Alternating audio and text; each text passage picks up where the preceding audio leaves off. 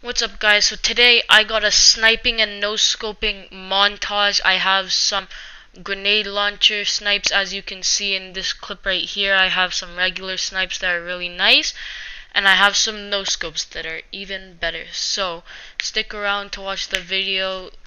It's gonna be a good one. Uh, please subscribe, like, turn on notifications and I hope you enjoy. So let's get into it. Peace.